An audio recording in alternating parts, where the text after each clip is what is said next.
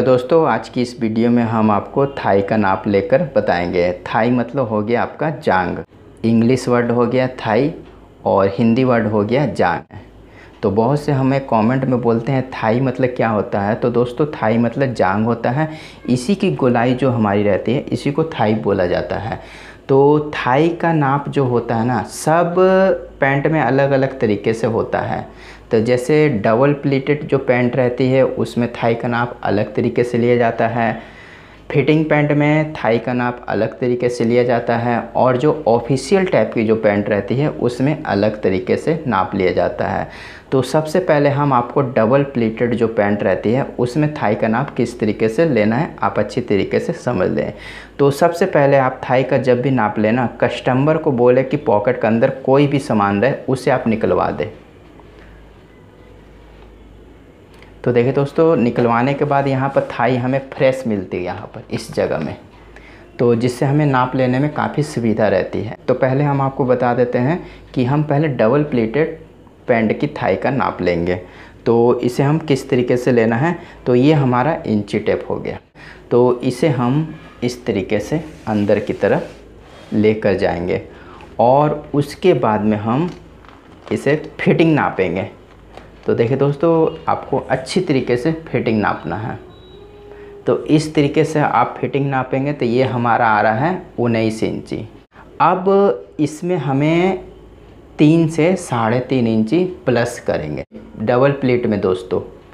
तो तीन साढ़े तीन इंची प्लस करेंगे तो ये हमारा हो जाएगा उन्नीस, बीस, इक्कीस, बाईस। तीन इंची में बाईस हो रहा है, साढ़े तीन इंची में साढ़े बाईस इंची हो रहा है। तो साढ़े तीन इंची लूज कर कर जितनी थाई हमारी आती है, उतना ही आपका डबल प्लेट में थाई होनी चाहिए। अगर कस्टमर कोई लूज पहनना चाहता है तो आप उसे उसी के हिसाब से थाई का नाप दें। वैसे जो हम तरीका बता रहे हैं, ये तरीका बहुत ही अच्छा है और अच्छी जो पैंट जो का जो थाई होती है इस तरीके से अगर आप बनाएँगे तो बहुत ही अच्छी फिटिंग वाली थाई आपको मिलेगी डबल प्लेट पैंट में। तो दोस्तों, इस तरीके से हम डबल प्लेटेड पैंट की थाई नापते हैं। अब हम आपको बताते हैं कि फिटिंग पैंट में थाई को किस तरीके से नापना है।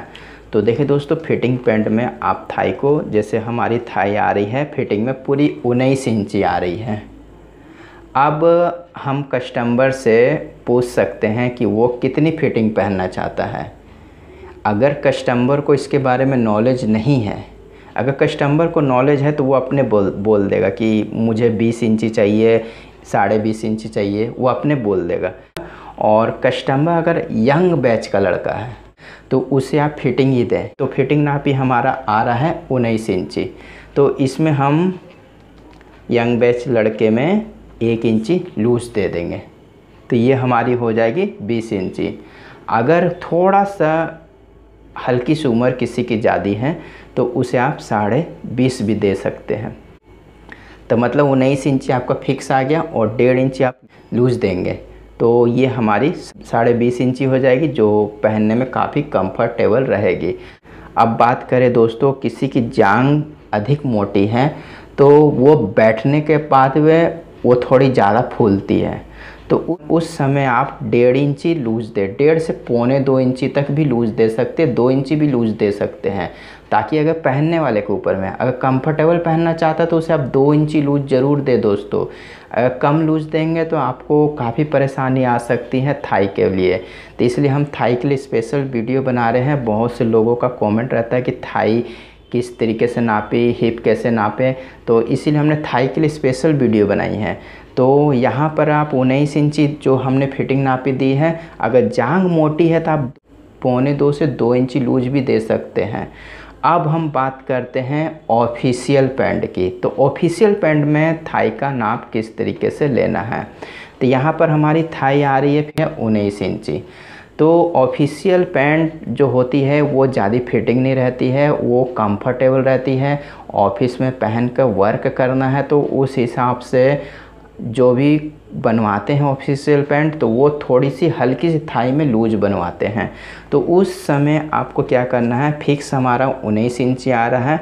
आपको सीधे दो इंची लूज कर देनी है।